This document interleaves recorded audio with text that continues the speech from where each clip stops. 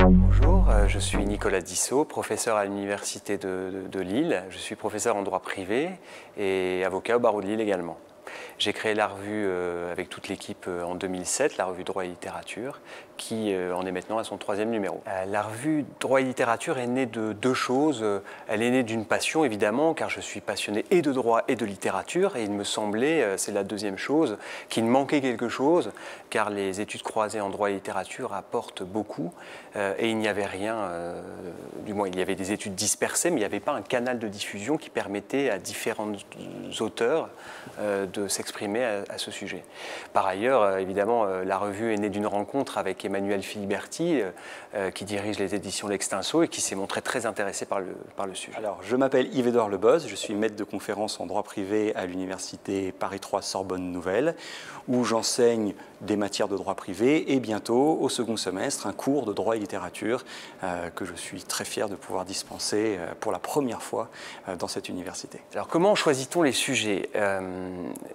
Tout dépend en réalité de la structure de la revue, parce que vous avez une partie thématique, où là il s'agit de partir d'un thème que l'on choisit euh, en en discutant avec le comité scientifique et plus particulièrement Yves-Édouard Leboss, qui est secrétaire général de la revue. Donc ça, ça se fait sur la base d'intuition, d'envie. Euh, par exemple, le dernier, on a eu un peu de flair, parce que euh, bien avant le mouvement des Gilets jaunes, on avait perçu que la rébellion était un thème qui pouvait intéresser le droit et la littérature. mais pour le reste, la revue comprend aussi des parties une partie variété et une partie recension. Euh, et donc ça, c'est sur la base de, de suggestions spontanées de la part d'auteurs. Et là, on ne choisit pas, on retient euh, les articles sur la base d'une lecture. La, revue se structure euh, autour d'abord d'un dossier euh, avec différents thèmes. Alors, on avait commencé avec la responsabilité de l'écrivain, ensuite on a eu Victor Hugo et tout récemment la rébellion, bientôt l'Europe, ensuite Proust. donc, on n'arrête pas d'essayer de, de, développer des nouveaux thèmes stimulants qui colle avec l'actualité ou pas. Alors là, l'Europe, évidemment, c'était dans l'actualité des derniers mois à cause des élections européennes. On a pris le temps de la réflexion et donc ce sera pour 2020 euh, pour que aussi bien les littéraires que les juristes qui participent à la revue prennent le temps de réfléchir, d'avoir les résultats des élections européennes aussi, et puis pensent avec du temps, euh, le temps long de la réflexion. Et c'est tout l'intérêt d'avoir une revue annuelle, euh, bien évidemment, ne pas être stressé, ne pas être angoissé, déjà que les délais sont, restent courts même avec une revue annuelle. Donc prendre le temps de la réflexion, bien préparer les dossiers. C'est pas toujours facile de trouver des contributeurs, alors il faut prendre le temps, bien les choisir, savoir si leur emploi du temps leur permet d'écrire quelque chose d'intéressant.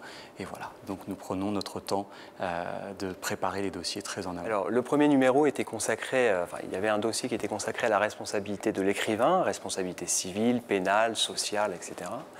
Euh, le deuxième, lui, a consacré un numéro à Victor Hugo. On a retenu des thèmes qui, nous semblait-il, étaient euh, euh, susceptibles d'intéresser le plus large lectorat possible. C'est vrai que Marcel Gauchet était un personnage important pour nous euh, parce que c'est la figure de l'intellectuel complet qui s'intéresse à beaucoup de choses et notamment au droit sans être pour autant un juriste. Il convoque beaucoup la philosophie, l'histoire, aussi la psychanalyse, donc c'est très important pour nous. Pierre Jourde, qu'on a aussi obtenu, dont on a obtenu une contribution dans le, dans le le dossier de la rébellion, et euh, écrivain, enseignant à l'université. Euh, nous avons aussi eu la joie d'avoir des contributions de littéraires. Alors ça, c'était vraiment très intéressant, euh, notamment Marie-Cécile Leblanc qui nous a fait une contribution consacrée à Proust et la recherche du temps perdu et au personnage de Vinteuil. donc des, des pour une revue juridique des profils différents et qui viennent de ce qu'on appellerait peut-être euh, très largement le monde intellectuel. C'est très important pour nous euh, d'attirer euh, aussi bien des universitaires que des intellectuels au sens large, qu'ils soient médiatiques ou pas, ça c'est pas la question, mais qu'ils aient les idées larges sur les sujets qu'on essaye de, soumettre à leur réflexion. La revue s'adresse à tout le monde, à tous les curieux, évidemment aux juristes, qu'ils soient étudiants, avocats, magistrats, juges, euh, vraiment tout le monde, les collègues, évidemment les universitaires, mais aussi aux littéraires et plus généralement à toutes les personnes qui sont intéressées par la dimension juridique de la culture générale. Euh, on estime, le projet de la revue consiste à mettre le droit hors les murs de l'université. Il s'agit de montrer que le droit fait partie de la culture générale et qu'inversement, la culture générale doit aussi euh, nourrir euh, les études, les réflexions juridiques. Alors, les grands objectifs euh, de la revue, eh bien, c'est d'en faire vraiment ce support intellectuel pour créer un réseau international euh, qui intéresserait, alors peut-être au premier chef l'Europe.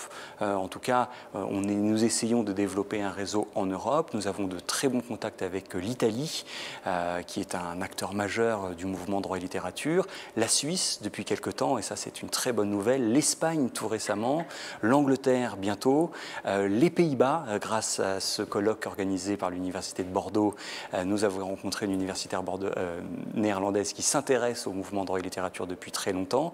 Et donc, vraiment créer un mouvement.